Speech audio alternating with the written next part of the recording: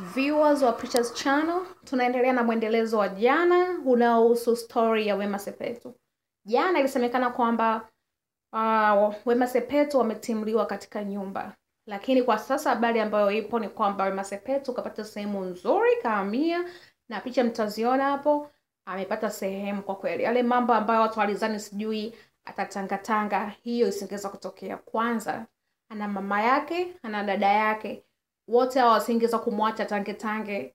Pia ana marafiki, kwa hiyo asingeweza kukosa sehemu ya kwenda, na ana biashara zake, anafanya duka, kwa hiyo asingekosa hata pesa ya kupanga sehemu, hata kama ni sehemu ndogo. Kwa hiyo amejitahidi sana na anastahili pongezi kwa hivyo, kwa sababu kapata sehemu nyingine tena kwa muda mfupi nadhani, au kama alikuwa ameanza kuitafuta kuanzia muda mrefu, basi ndo kahamia.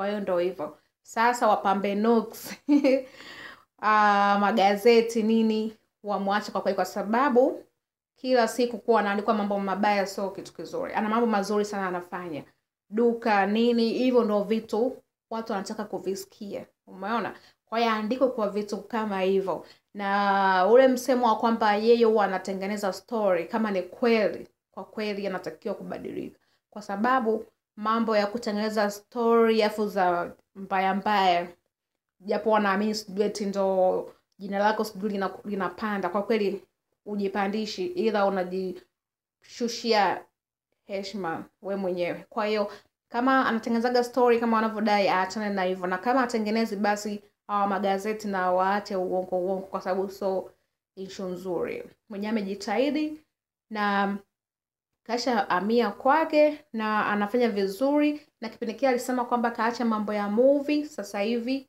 amerudi tena kwenye movie. Kwa hiyo watu wanazidi kufurahi zaidi kumwona anapiga kazi, na sasa haya mambo ya kuwa anaita sijui TV DJ sijui rekodi anapokaa, hayo mambo asifanye tena, kwa sababu unapofanya hivyo ndio unafanya sasa watu wakae attention kufuatilia issue zako. Oh, hii nyumba sijui nimehamia hapa, yeye hapa alipoamia akae zake kimya, wala hata asitake ya mambo ya sijui waje wa rekodi humo ndani waoneshe watu. Yani ndo maneno yanapoanzia huko, kama ile nyumba iliyopita aliita watu wakairekodi waka wakaonesha kwenye TV sijui kanunua sijui vitu gani.